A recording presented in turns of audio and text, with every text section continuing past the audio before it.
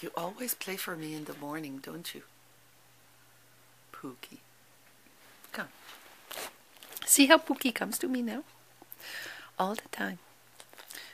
Yes, he decided that it's better to love his mommy than be a pook. Although it's sometimes nice to be a pook. Everybody has to be a pook every once in a while, right? Yeah, even if you don't want to be a pook, sometimes you end up looking like a pook or acting like a pook. Oh, pookie. Pookie, pookie.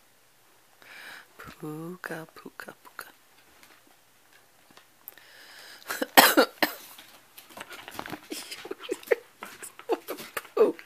Look at him.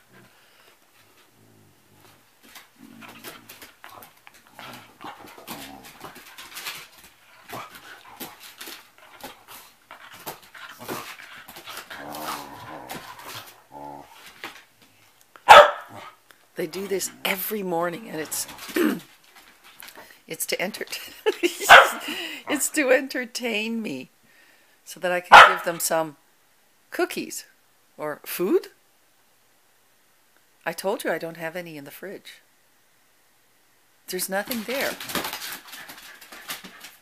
I don't know what I can find for you, honey. I don't even have any carrots there. Puka says, she's lying, she's lying. Come on, let's go dance some more. If we dance some more, Mummy's going to give us some food.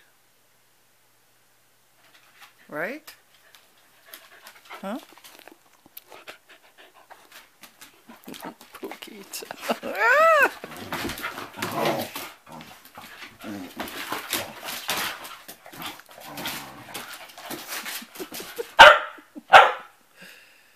you see, it's just an act. Just an act. Oh, you. It's just an act.